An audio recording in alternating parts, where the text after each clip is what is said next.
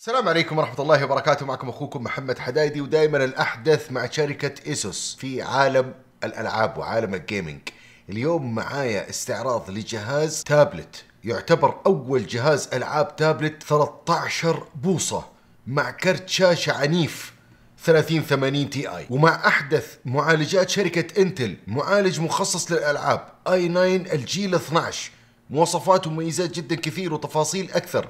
خلينا نبدأ الفيديو مع بعض ونشوف تحفة اسوس الجديدة. طيب يا أخوان نبدأ ونقول بسم الله.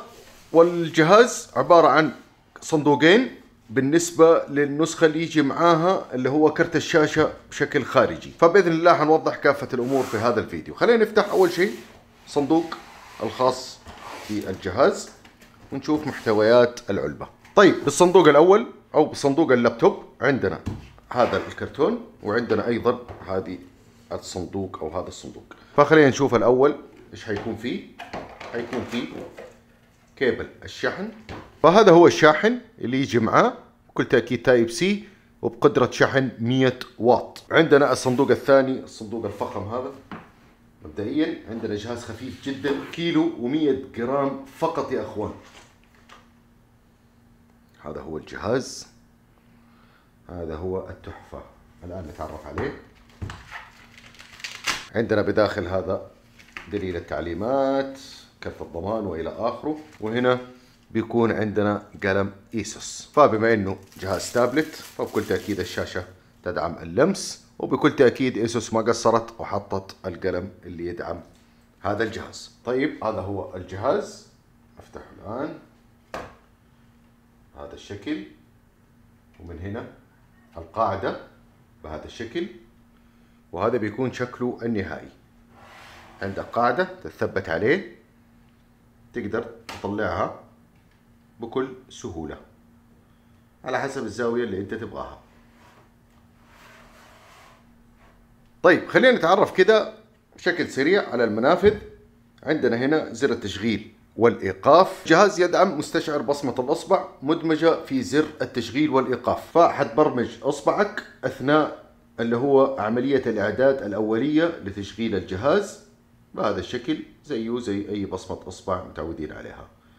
فتاخذ كل جوانب الأصبع عشان لو فتحت الجهاز من أي جنب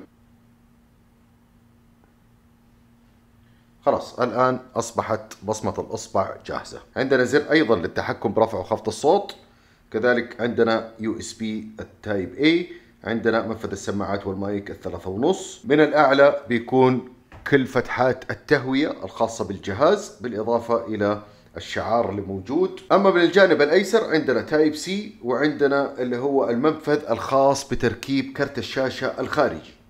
وطبعا له غطا.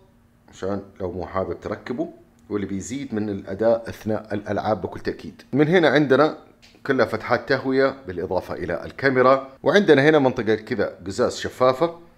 كذا أعتقد بتكون أوضح. طيب يا أخوان الصندوق الآخر بيكون خاص بكرت الشاشة. يجي معاه الفيش الخاص فيه.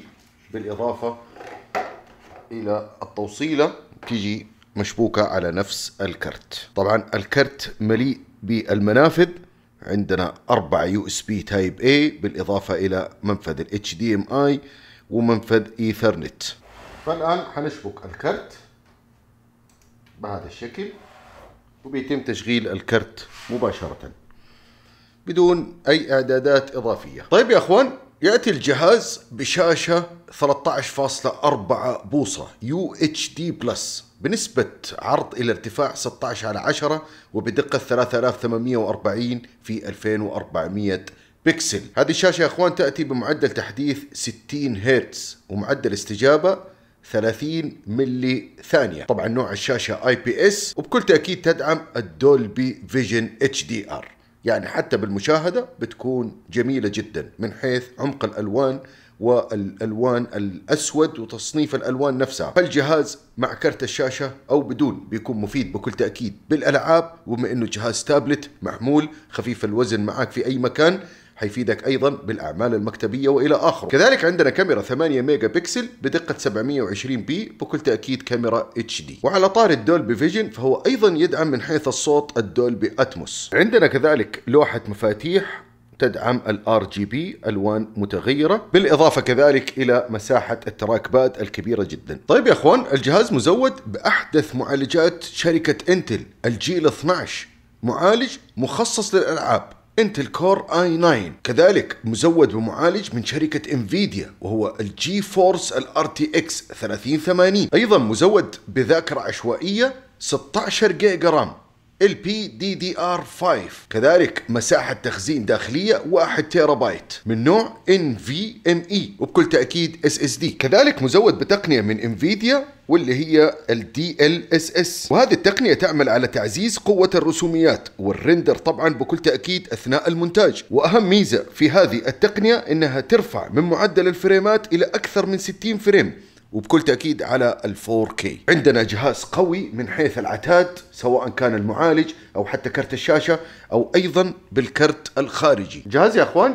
يعمل بأحدث أنظمة Microsoft Windows 11 كذلك يدعم البلوتوث ال 5.2 وأيضا يدعم الواي فاي الأحدث والأسرع الواي فاي 6 E. أما بالنسبة للبطارية الخاصة بهذا الجهاز فالرقم مناسب جدا مقارنة باللوحيات أو بأجهزة التابلت. مع شاحن سريع مرفق بقدرة 100 واط. كعادة Asus عندنا اختيار للأوضاع. عندك وضع التيربو وهذا الوضع اللي بيكون فيه الجهاز بكامل قدرته. كذلك عندنا وضع الأداء وعندنا وضع ال silent اللي هو وضع الصامت الهدوء. فوضع الأداء هذا حيفيدك بكل تأكيد في العمل أثناء إجهاد الجهاز. كذلك من خلال برنامج MyASUS اللي فيه العديد من المهام واللي تقدر تخصص فيها أشياء جدا كثير زي وضع شحن البطارية والواي فاي الذكي وإلى آخره. طيب يا شباب وزي ما شفنا الاستعراض مع بعض الجهاز بيتوفر بنسختين. نسخة في مكتبة جرير حيكون بدون كرت الشاشة الخارجية وأكيد بيكون سعره أقل. وعندنا النسخة الأخرى بتتوفر مع الكرت الشاشة الخارجي بالإضافة إلى هدية يد Xbox يد تحكم. فكافة التفاصيل بترك لك اياها بصندوق الوصف اسفل الفيديو أتمنى أشوف رأيك في صندوق التعليقات. وبكذا أكون وصلت معاكم لنهاية الفيديو. أتمنى منك إنك تضغط على إشتراك في قناتي وهذا يشرفني. يعطيكم ألف عافية. لا تنسونا بال like وال subscribe في القناة. في أمان الله.